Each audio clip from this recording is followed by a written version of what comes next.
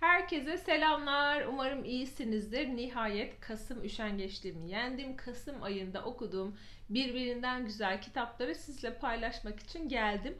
Hem böyle rakamsal sayfa sayısı olarak hem de nitelik olarak çok çok iyi kitaplar okuduğumu düşünüyorum. Bakalım darısı aralığa.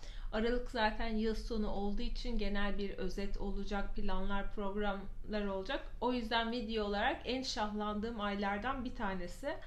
Ee, okuduğum kitaplarımın birçoğunu her zamanki gibi yine unuttum ve her zamanki gibi çok yüzeysel ben ne hissettim, bende neler uyandırdı bunları anlatmaya çalışacağım dilim döndüğünce. Ee, Kasım ayının benim için en zirvede olan kitabı Perinuş Saniye'den payıma düşen Yordam Edebiyat'tan bakalım Güneş Demirel çevirisiyle okudum. Çok çok şahane bir kitaptı. Kadın hikayeleri içinde okuduğum Mahsume bu kitaptaki karakter benim hiç unutamayacağım, hiç ama hiç unutamayacağım karakterlerden bir tanesi. Çaresizlik karşısındaki savaşçılığı, o anaçlığı, o direnişi o kadar duygusal ve o kadar hüzünlü ki benim İranlı yakın dostlarım var etrafımda ve işte İran, e, İslam devrimi, e, Irak-İran savaşı gibi İran tarihinde çok önemli olan meseleleri anlattıklarında bu hikayeyle çok benzer sorunlar yaşadıklarını gör, öğrendim. E, anladım ki her ne olursa olsun yine kadına her zaman en çok olan oluyor. Masume ile beraber büyüdüğümüzü hissediyorum. Onun çocukluğundan, daha dindar yobaz ailesinden sonra komünist devrimci kocasına kadar o bütün geçiş sürecini, bütün hikayelerin hüznünü onunla beraber hissettim, onunla beraber yaşadım.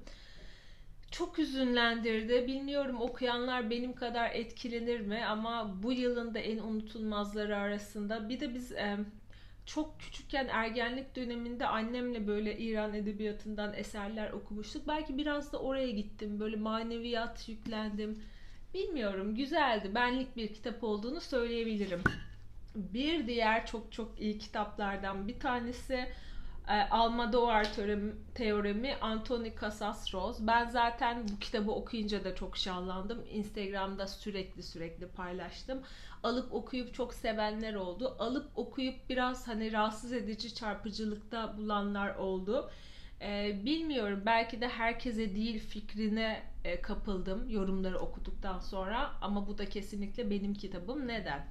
Şimdi öncelikle hikaye çok gerçek. Yazarın kendi yaşadığı. Google'a yazarın ismini de aratırsanız yüzünü göremiyorsunuz. Çok geçirdiği büyük bir kaza sonucu yüzü tanınmaz halde olduğu için toplum içine çıkmayı reddediyor. E, ve bir matematikçi olacakken daha böyle evde online bilgisayar internet üzerinden çalışacağı hafif muhasebelik işleri veya yazarlığa soyunuyor. E, hikayede aynı böyle trafik kazasında kendi yüzünü kaybetmiş ve kız arkadaşını kaybetmiş bir adamın hikayesi. Karakterin ismi de yazarın ismiyle aynı.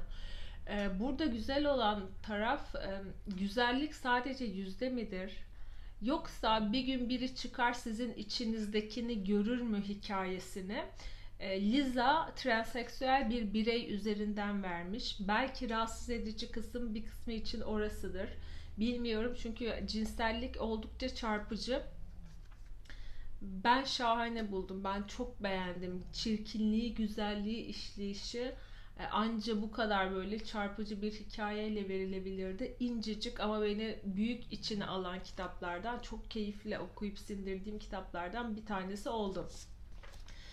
Jaguar kitaptan Çöl ve Tohumu. Yani yalan olmasın ve uzun zamandır Jaguar'dan okuduğum kitaplar içinde hiç bu kadar keyif aldığım kitap olmamıştı. E, son ilk kitaplar mesela muazzamdı çok çok sevdim. Bir ara böyle bir uzaklaştım yayın evinin kitaplarından. Şimdi tekrar yakınlaştığımı hissediyorum. Bu kitabı da e, kitapçının raflarında yeni çıkanlarda buldum. Zaten şu kapak beni benden aldı. Direkt elime çektim. Baktım böyle biraz yüzüne eski kocası tarafından asit atılan diyor ve ben direkt kaptım. Eve geldim ve geldiğim gibi başladım. İncecik bir kitap bu da. Zaten anlatıcının kim olduğunu da hikayede yola çıktıktan sonra öğreniyorsunuz. Ve e, yüzüne ke- e, kezap diyorum. Yüzüne asit atılan kadın tedavi olmak için Milano'ya gidiyor. Yanındaki e, bireyle beraber, anlatıcıyla beraber hastane ve Milano'nun ara sokakları, işte uyuşturucusu, fahişesi, alkolü, gece hayatı bunlar içinde gidip geldi bir roman. Oldukça edebi değerinin yüksek olduğunu düşündüm. E, bir tarafta alıp kadının meselesine sokuyor sonra beni çıkarıyor anlatıcının meselesine sokuyor bambaşka yerlerde git gel yapıyorum ve benim için çok iyiydi ee, bu, yazarın yine ailesinin trajik öyküsünden yola çıkmış yani burada da gerçek yaşanmışlık var yazar bu kitabı çıkarabilmek için çok uğraşmış yayınlandıktan 3 yıl sonra da intihar ediyor e, oldukça güzel ve e, özellikle intiharla hayatını sonlandırmış yazarların son kitaplarını okurken bir kırıntı arıyorum kitabın içinde. E, onu burada buldum diyebilirim. Tavsiye ediyorum. Bence çok iyi edebiyattı. Diyorum ve Aa, hadi şunu anlatayım. Cranford Elizabeth Gaskell ölmeden önce okunması gereken binbir kitap içinde Yazar feminist edebiyatın önemli isimlerinden Jane Austen'la falan e, kıyaslanıyor. Açık konuşmak gerekirse Austen çok benim yazarım değil. Ee, okuduğum böyle çok kült eserlerinde kendimi bulamadım. Cranford onlardan ziyade benim için çok daha iyi bir metindi ama hani durgun mu durgun, olay heyecanlı mı, olay örgüsüne alıp beni böyle e, soluksuz denir ya öyle okudum mu? Hayır değil ama hani kapattığımda da o dönem için önemli bir kitap olduğunu da hissediyorum. Edebiyatı güzel, sağlam sevdiğim klasikler arasına girdi. Cranford bir kasaba ve bu kasabada sadece kadınlar var. Kadınların kendi günlük meseleleri, kim ne kıyafet giymiş, işte gelenekleri, görenekleri gibi. Ee, ve e, kasaba ile bağlantılı birkaç erkeğin de hikayesi. Ön söz ve son sözü ben hikayeyi bitirdikten sonra okudum. Oradaki eleştirileri okuduktan sonra kitaba farklı bir gözle baktım e, e, feminist edebiyat derken e, aslında çok da feminist edebiyat değil diye birçok eleştiri de okudum kitapla ilgili. Ama özetle bakacak olursak yayınlandığı dönem içinde e, oldukça güçlü, çarpıcı kitaplardan bir tanesi. Yani izini böyle çok etkilendiğim, hiç unutamayacağım klasiklerden olmadı ama iyi ki okumuşum ve uzun süredir merak ettiğim bir kitaptı. Çağdaş Edebiyattan Emily Nougham'dan Katilin Devası. Şöyle. Ben bu kitabı çok sevdim. Bunu da Emily Nougham, Nougham öyle mi okunuyor? E, Turkuaz kitapta mavi böyle bir anne kız hikayeli bir kitabı vardı. Onu hatırlayamadım şimdi. O da var bende. Bunu görünce arka kapağını okuyunca çok dikkatimi çekti. Bunu aldım eve geldim. Yine hemen okudum. Çok kısa hemen bitti ve keyifliydi.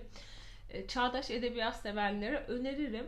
E, çıtır çerezlik güzel bir hikaye. No, bir tane burada yazar var. Alabildiğince nefret ediyorsunuz okurken zaten.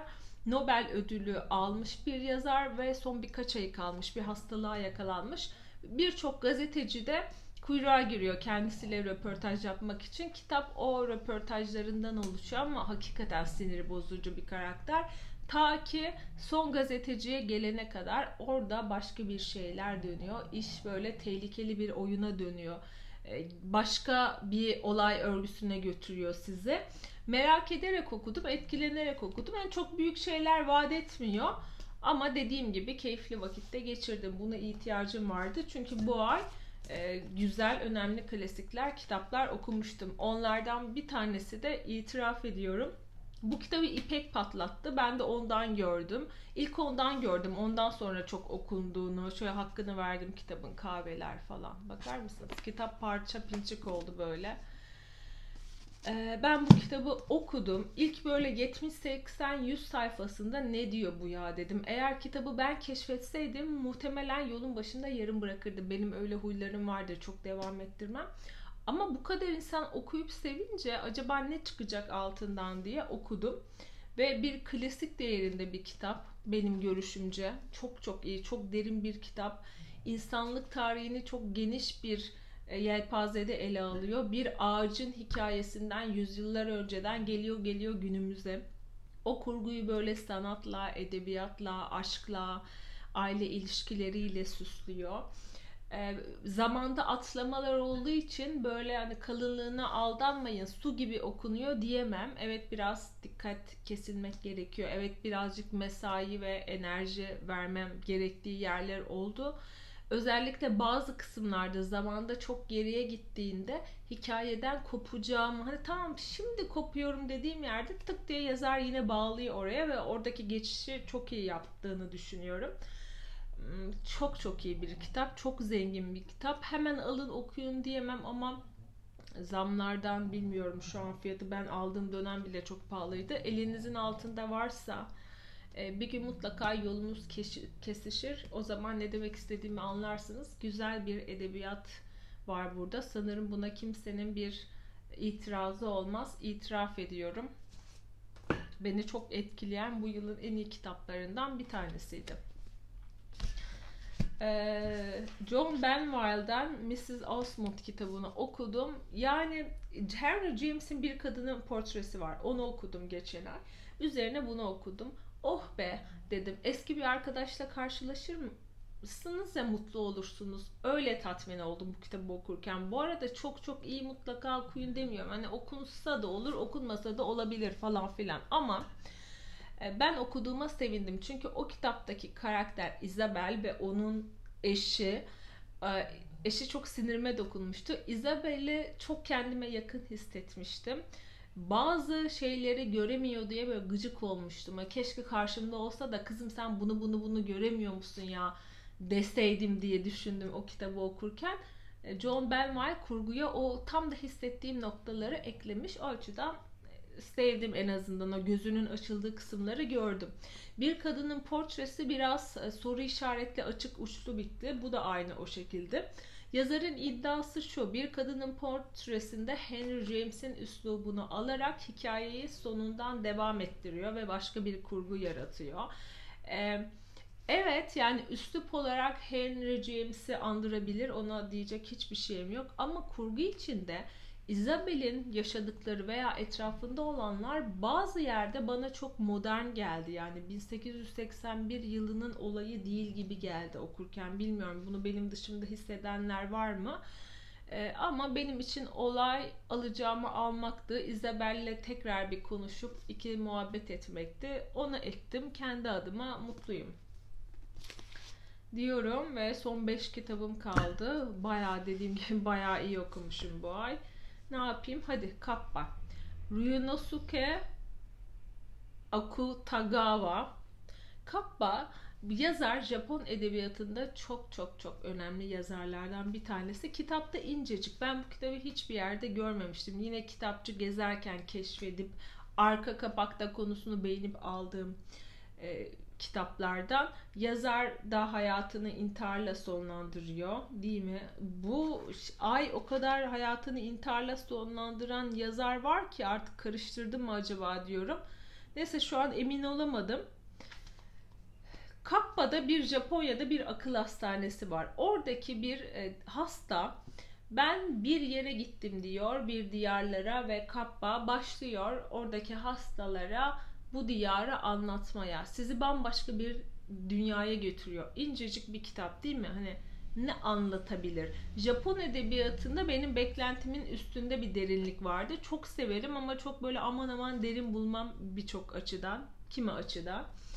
Ee, o açıları benim bakışımı çok değiştirdi. Yani incecik bir kitapta sen hem dine hem felsefeye hem sanata hem edebiyata hem kadın erkek ilişkilerine hem kadın haklarına nasıl değinebilirsin? Öyle bir dünya yaratmış ki yazar bunların hepsi var. Çok çarpıcı, eleştirisi çok güzel. Kendi toplumuna dili de bayağı bir hicivli. Ben çok çok sevdim. Özellikle e, Japon edebiyatı ile ilgileniyorsanız bence bir bakın yazara okuyup keyif alacağınız kitaplardan bir tanesi olabilir. Nikah Sarhoşluğu Ferhat Uludere'den okudum. Çağda, yani Türk Edebiyatı deyince benim artık bu belli. Çağdaş her zaman bambaşka bir yerde. Ben Ferhat Bey'le de Gonca Usta var ya oyuncu. Onun bir storiesinde görmüştüm bu kitabı. Hemen o gün sipariş ettim. Kasım ayında okumuş oldum. Çok çok keyifli. Çağdaş edebiyat sevene böyle bizden, kendi toplumumuzdan bir şeyler isteyenlere çok Yüzüm gülüyor çünkü eğlenceli, keyifli bir metin. Biraz erkek olma haline, hani eğlenmeden önce erkeklere bir gelir ya, köprüden önceki son çıkış gibi hissettikleri dönem olur. O dönemdeki erkeğin ikilemini çok güzel vermiş. Türk toplumunu böyle iyi almış, harmanlamış, oraya yansıtmış kahramanımızın ruhuna. E, bir baba oğul hikayesi üzerinden gelişiyor bütün bunlar. Böyle keyifli, eğlenceli, benim için bir günde bitmelik güzel vakit geçirten çok sevdiğim kitaplardan bir tanesi oldu. Edisyon kitaptan çıkmış.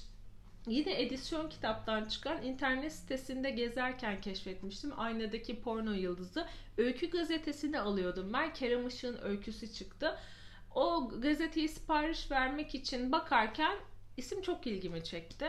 Ve öykü okumayı da çok seviyorum. Özellikle çağdaşlardan, Türk yazarlardan öykü okumayı daha çok seviyorum. Ben de Beril Erbil'le kitabın ismi çok çekici geldiği için ve konusuna baktığımda kadın hikayeleri olduğu için ben de çok çok sevdiğim için hemen aldım, okudum.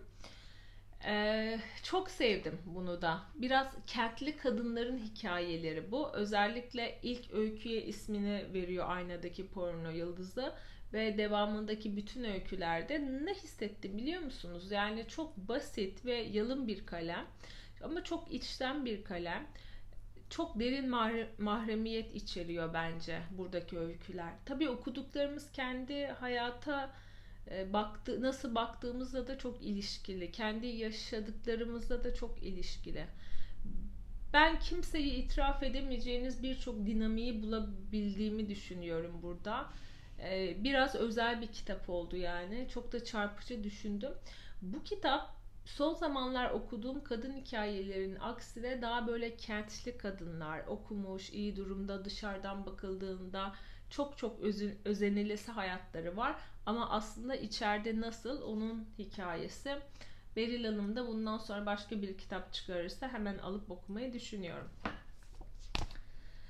Biri hiçbiri binlercesi Luigi Pirandello'dan İtalyan yazar, İtalyan edebiyatı ölmeden önce okunması gereken binbir kitaptan İpek'in Dünya Klasikleri okuma kulübüyle okuduk. Ben bu kitabı neden beklettiğimi bilmiyorum. Nedense açıp okuduğumda çok zor ve yavaş akacak bir metin olacak gibi bir ön yargıya sahiptim ama çok fazla etkiledi beni. Bu kitabı okurken yer altından notları okurken ki hissettiğim duyguları, geçişleri hissettim. Bilmiyorum hani çok bir alakası olmayabilir ama genel aurası benim için o şekilde çalıştı kitabı.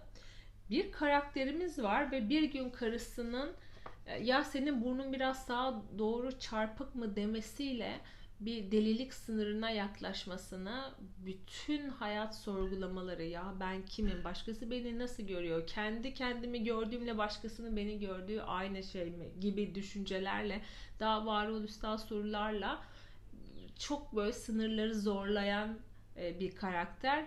Oldukça beğendim. Kurguya böyle aşktır, ilişkilerdir, başka durumlarda katmış. Onları da çok sevdim ama alt metinde vermek istediği felsefeyi çok çok beğendim oldukça doyuran klasiklerden bir tanesi. Biri hiçbiri binlercesi. Ve son kitabımda e, Kim Yi-yong uluslararası çok satan doğum 1982 bu ay okuduğum kitapların birçoğuna olmasaydı da olurdu. Hani dedim mi demedim herhalde sanıyorum hepsini beğeni beğeni okudum. Bazıları çok daha öte olsa da. Ama bu kitap bana ne kattı derseniz Bilmiyorum. Bu da bir kadın hikayesi Japon edebiyatında ve oldukça yankı uyandırmış bir kitap. Buradaki kızın e, kıza sonra işte kadın başka bir şeyler oluyor. Farklı tarihlerde farklı pencerelerden onun hayatına bakıyoruz aslında diyebilirim kısaca. Benim için niye böyle çok çok ön planda olan bir kitap değil? O kadar böyle hisli kadın hikayeleri okudum ki onların içinde çok da büyük bir anlam mı olmadı benim için. Yani Türk Edebiyatı'nda bu hikaye olsaydı bence çok bambaşka bir şey çıkardı falan diye hissettim okurken.